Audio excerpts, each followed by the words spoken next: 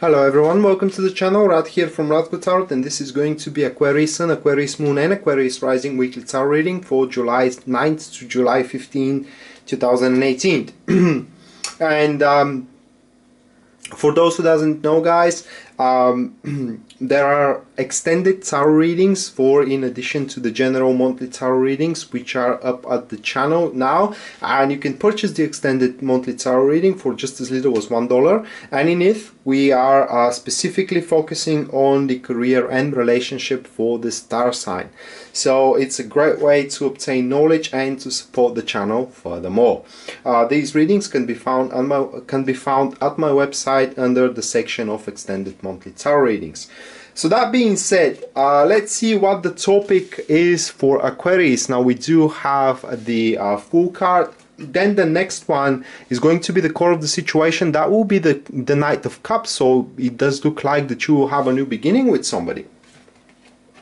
Then is uh, the challenges that you need to overcome. That will be the Four of Wands and the last card shows up the guidance here. So that speaks for a new beginning and in the same time guys conflict of interest. So you need to be uh, very aware of what your heart desires during that particular week. And I'm talking about because this reading mostly take place for a relationship life and you will be most likely approached by someone and that is very um, I cannot say dangerous, but very confronting when it uh, confronting when it comes to existing relationship. Because this is not your boyfriend or a girlfriend all right that is a, a third party which comes for you. They want you and they kind of like um, they find you as a very enthralling and in the same time someone that uh, you know that is the dream of their hearts hearts in general. But also it's very important to be quite objective when it comes to this person. Because sometimes they overestimate the environment they overestimate the potential in general. And uh, usually when it comes to the Knight of Cups uh, you can hear a, a, very exaggerated statements of theirs. You can you can hear fairy tales however how everything is to be perfect, how everything is going to be uh, outstanding you know and there will be no issues whatsoever etc etc but that unfortunately isn't true and that is very well displayed here with the Fool card. So instead of you involving yourself straight away with that guy or a girl it will be best first you know to uh, first examine them.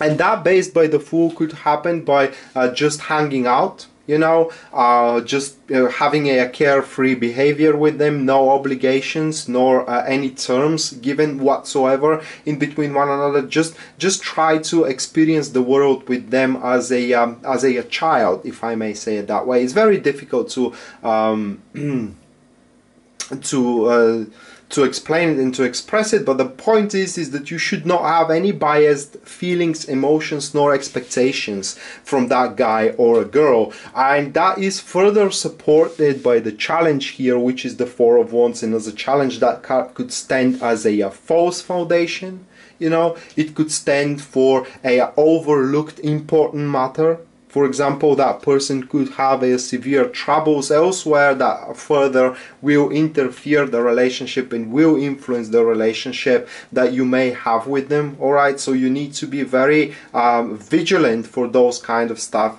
Uh, in general, you should not involve yourself if you don't know that person from start to the begin uh, from the beginning to the end all right? The four of wands also as a, a challenge does expresses up the um, the incapability to close the deal all right? So even though um, things could go out very well in between you and that guy or a girl especially if you are single. That speaks for a, a tremendous experience that you will have with them but still something will will seem odd. Still some something will seem very awkward here alright? And that's why during this week rather you need to use the time to get the person to know them better. Instead of just you know consuming what could be a seemingly awesome relationship and further realizing that actually it's uh, it's it's a relationship that's uh, there is its uh, its issues that you and that person are quite unprepared to face.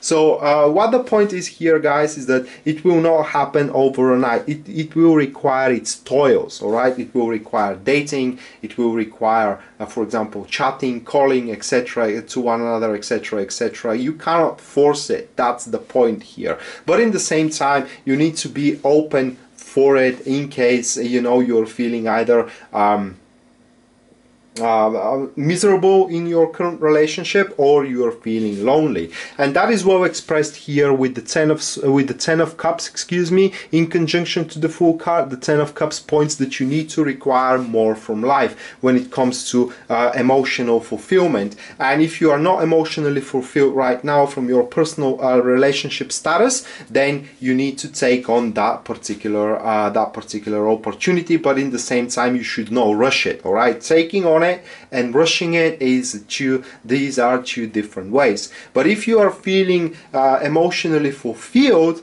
then you need to give a um, an understanding to those which are emotionally fulfilling you that they need to actually kind of lift the bar a little bit higher because at certain point isn't going to be enough any longer. And there are people out there in this world that are ready to give you more so with that being said, Aquarius, this was your weekly tarot reading for July 9 to July 15, 2018. I hope you enjoyed it and you liked it. And in case you're interested in a private reading with me, everything you need to know about it will be listed down there in the description of this video. Rad signing out now. See you next time.